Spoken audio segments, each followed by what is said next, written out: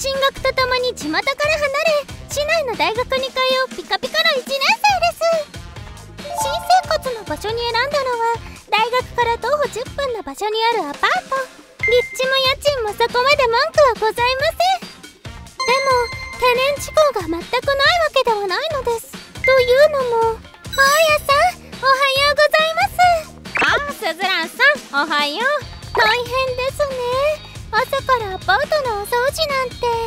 業者に頼むと高くつくもの。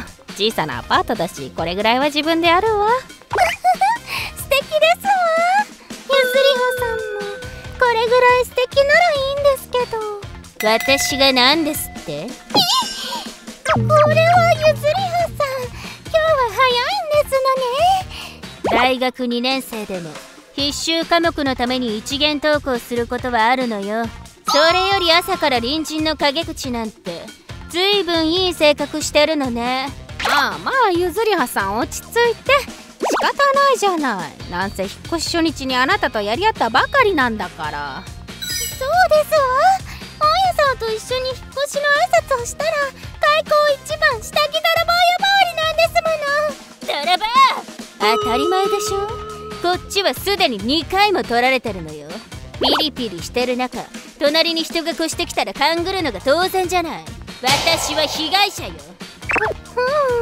まあ下着を取られたのは不憫ではありますけど。でも普通に考えて同世代の女性が女性の下着を盗むでしょうか。盗むでしょう。だって私の下着おしゃれだもの。羨ましくなったんじゃないの？この前ちらりと見たけどあなたの下着全部センスがなかったし。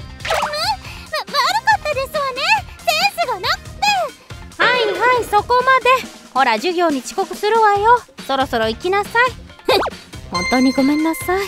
ゆずりはさんちょっと最近カリカリしててね。神経質になってるというか。まあ裏若き乙女が下着泥棒に遭ってるんですもの。警戒する気持ちはわかりますわ。まあそれが本当かはわからないけどね。どういうことですの？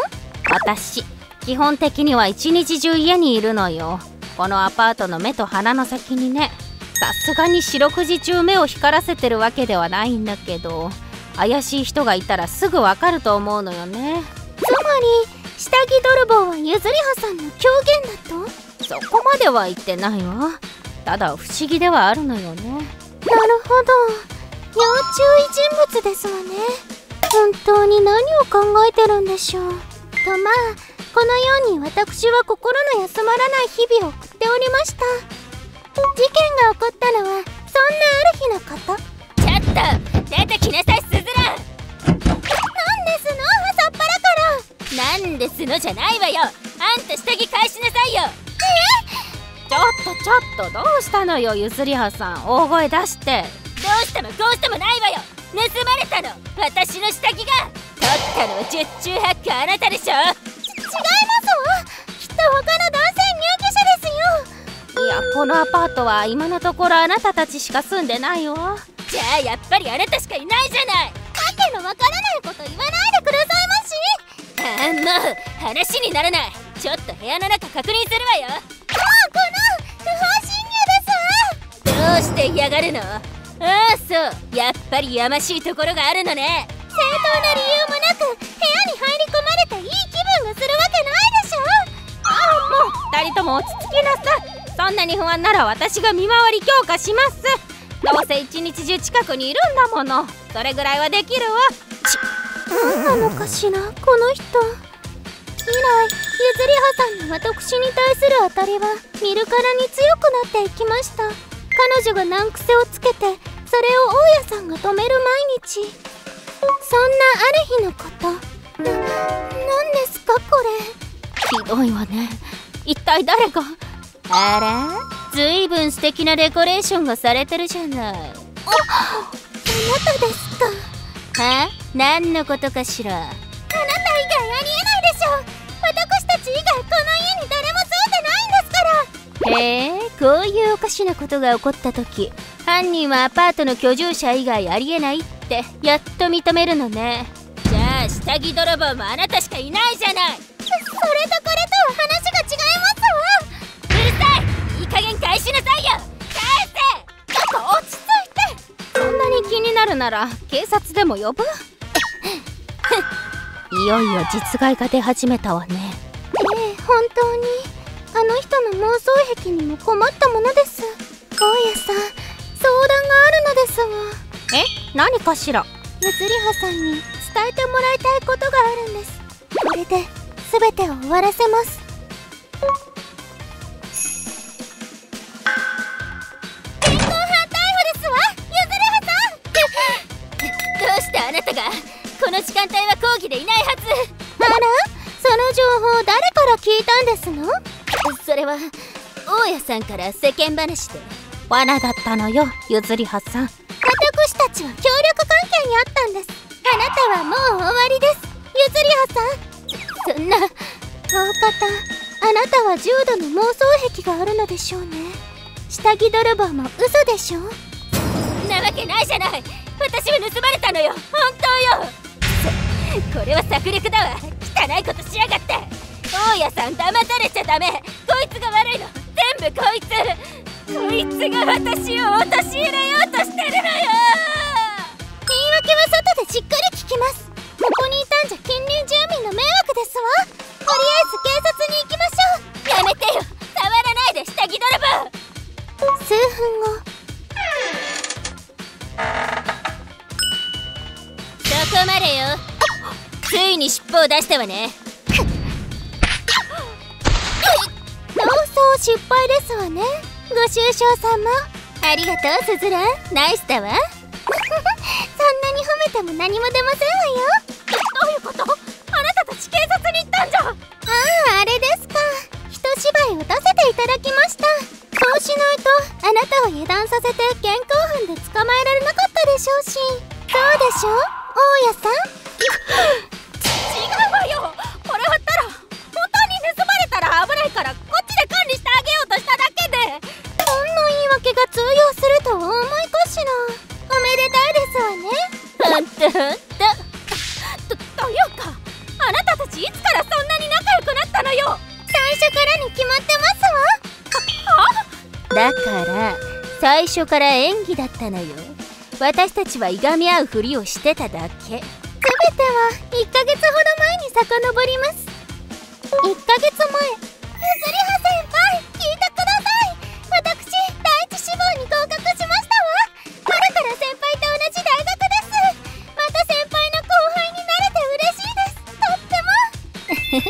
それは良かったわね。ただ住む場所の問題がありますわ。今アパートを探している最中でして。そういうことなら私のアパートはやめた方がいいわ。どうしてです？下着を盗まれるからよ。えそうなんですの？しかも多分相手は多いよね。場所的に一日中家にいるはずのあの人が気づかないのはおかしいもの。ベランダに干してある下着を盗むだなんて警察に連絡はしてないわ。もう事件は起こった後だし現行犯じゃないと難しいんじゃないかしら。でもここ最近私が警戒してるのがバレてるのか一向に盗まれないの。多分もう事件は起きないでしょうね。泣き寝入りというわけ。それならもう一度盗ませるというのはどうですか？え？どういうこと？例えばなんですが私がそのアパートに引っ越すんです。でその私に対して先輩が敵意を向けるというのはどうでしょう大家さんは先輩の注意が私に向いてると勘違いしますその隙を狙ってもう一度盗もうとするんじゃないでしょうか。そううまくいくかしら。それに万が一スズランに危険が及んだら安心してくださいませ先輩のためなら火の中水の中ですわ住む場所もゲットできて一石二鳥です。というわけで。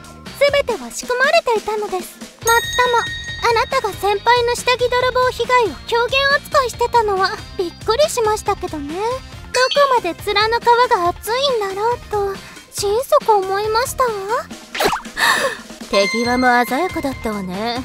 スズランが越してきて数日と経たず盗まれたもの。下着。まさかあそこまで素早く行動に移されるとは思ってなかったから少し焦ったわ。でもあの時点であなたのことを警戒したらまた犯行が収まる恐れがあったからね。だからスズランのことを大げさなぐらい強く警戒してみせたのこの演技すごかったですわ。拍手まあでも昔からの後輩であるスズランとポーズであれいがみ合うふりをするのは両親がいたんだわ。ヒステリックに振る舞うのも疲れたし。何を言ってるんですの？先輩結構楽しそうでしたわよ。ノリノリだったのバレバレです。あらあら。スズランには何でもお見通しね。でもあんた扉に張り紙貼ってたじゃない。実害出しておいて今更演技だなんて。実害はてさて何のことでしょう。あの現場を見ているのは私とゆずりは先輩とあなただけですわ。なんならあの張り紙は大学で2人で作ったものですし。まとにもかくにもこれでようやく芝居は終わりね。警察ももう呼んでありますの観念してくださいね大家さん。この詐欺師コンビ。何してきだろそれから大家さん元井あさみは警察に連行されていきました。事情聴取によれば先輩の下着は変態に売っていたそうですわ。ゆずりは先輩の顔写真付きで売られる綺麗なランジェリー。飛びつく方はまさかですわね。居住者が少なく家賃収入が見込めない分それで荒稼ぎしていたのだとか。過去の住民に対しても同じようなことをしていたらしいですわね。この調子だと余罪もわんさか出てきそうですわ。それで一方の私たちといえばでもよかったですわね先輩。もらった慰謝料でグレードの高いアパートに転居できて。まあ慰謝料がなくても住めたけどね。なんせこうして2人でルームシェアしてるわけだし。1人で住む分には高いけど2人で家賃を折半すればちょうどいいどころか相場より少し安いくらいだもの。その上設備もいい。本来なら私の合格に合わせて誘うつもりだったのでしょ？先輩は私のこと大好きですわね。まあね。でも一つ謎が残りますわ。何？私の下着です。どうして大家さんは先輩のものだけを盗んだのでしょう。裏若き乙女の下着ということなら私も一緒ですのに。さあなんででしょうね。ご視聴いただきありがとうございました。同性だから下着なんて盗むはずがない。という先入観にとらわれてしまってましたけどあらゆる可能性を考えることって大事です。しかも盗んだ理由が顔写真付きで売ってお金にするためって。個人的にはそれを買う側がいるのもどうかと思いますがね。それはそれとして最初から最後まで計画通りにことが運ぶなんてすごいですね。騙し通せるほどの演技力が試されますけどうまくいって本当に良かったです。皆さんはどう感じましたか？コメント欄に書いていただけると嬉しいです。また少しでもいい方向に向かってよかったと思った方チャンネル登録と高評価をお願いいたします。